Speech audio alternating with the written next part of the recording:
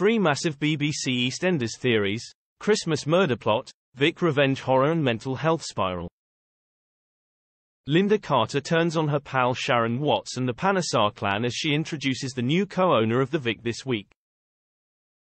But in failing to remember how dangerous Nish Panesar can be, the EastEnders favorite is flirting with danger.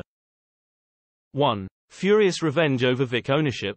Linda, played by Kelly Bright, had to sell Mick and Janine Carter's half of the Vic and was devastated to realize she could lose the pub altogether.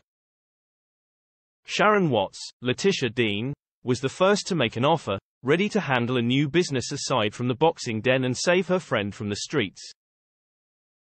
The landlady was happy to allow Sharon become a co-owner of the pub until she was met with the businesswoman's rigid ways and a counter-offer from Suki and Nish Panesar, Balvinder Sopal and Navin Chowdhry. Unconvinced, Linda was then seen on the phone with a mystery buyer and, due to her mother Elaine returning to Walford with a brand new partner, viewers have realized she'd be keeping the Vic in the family. 2. Plot for Christmas murder begins. Although her friendship with Linda could be headed for the rocks this week, Sharon has an even bigger bone to pick with the Panesars. Recent scenes of the London-based drama have shown Ravi Gulati, Aaron Thiara, attack Sharon's other half Keanu Taylor and she was eager to get revenge. Nish saw his son was in danger and quickly interjected. With a chilling whodunit in the works, announced to hit our screens during the Christmas season, fans have speculated Nish or Ravi, or both, could be at the center of the murder mystery. After losing the Vic, one could theorize that Sharon may have enough of the Panesars trying to rule over Walford and have more than enough reason to lash out if Nish begins to take his anger out on Linda. 3. New mental health struggle. Soap bosses have announced Ben Mitchell, Max Bowden, will be battling an eating disorder in upcoming scenes. But he won't be the only one struggling with his mental health.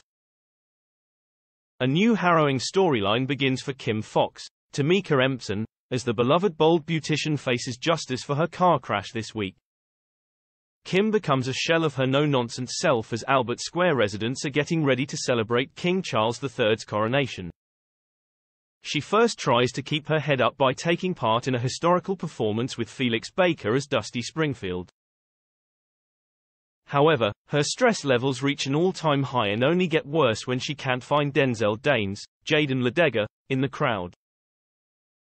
On the eve of her court case, Kim has a full-blown panic attack when Shush is asked to drive for a work errand. Denzel sees her locked inside her vehicle and assumes Shush is having a heart attack. The youngster makes Kim promise to tell his father Howie Danes about the incident but she eventually decides against it. Kim prepares for court the following day, full of anxiety, while Denzel tries to help her. However, he soon realizes she hasn't anything to Howie about her panic attack.